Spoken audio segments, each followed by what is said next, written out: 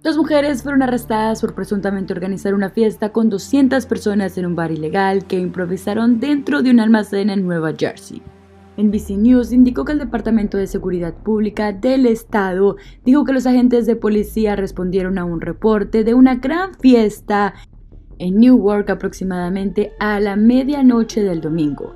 Al llegar, agregó la policía que los agentes encontraron a cientos de personas bebiendo, comiendo y participando de juegos al azar ilegales en la fiesta en el almacén.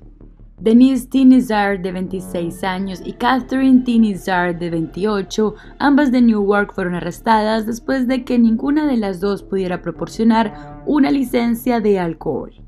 El 7 de diciembre, el gobernador de New Jersey, Phil Murphy, redujo el límite de reuniones generales en interiores de 150 a solo 10 personas, en respuesta al creciente número de casos de COVID-19.